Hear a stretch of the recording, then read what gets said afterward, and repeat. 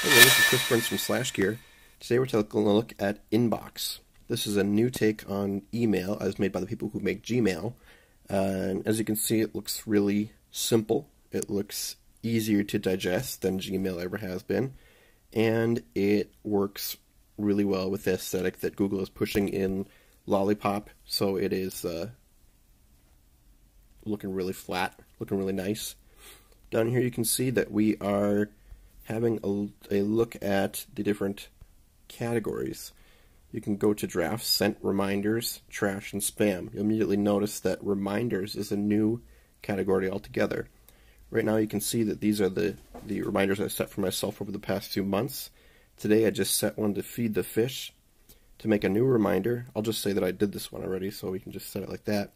You can click this, or tap this little button in the right, lower right hand corner to show you uh, several things. On the top, you have my regular email, then you have SlashGear email. I have two different emails there. I have Twitter support. The reason I have Twitter support there is because I've emailed them several times recently because I lost contact with my uh, password and they got it back for me. So that's cool. You can set a reminder or you can compose an email. If I set a reminder, I can say something like feed the bird. Done. And it sets it right there. It just sits it just sits at the top here until you do something with it. It'll always be at the top no matter what new emails you get. As you can see, I got a new one in the social category right here when I was just pressing that down to uh, refresh to get new emails. If I want to change this to, you know, dismiss it again or to move it here, I can also set it to pop up at a different time. We'll stay that, keep that right there.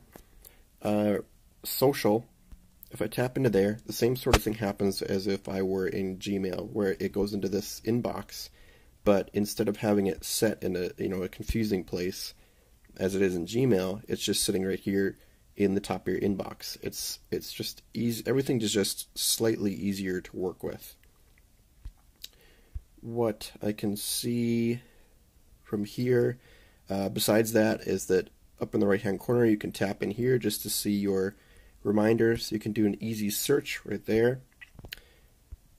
And that's about it. It's a really simple app, really easy to use, and it'll be free. So check it out.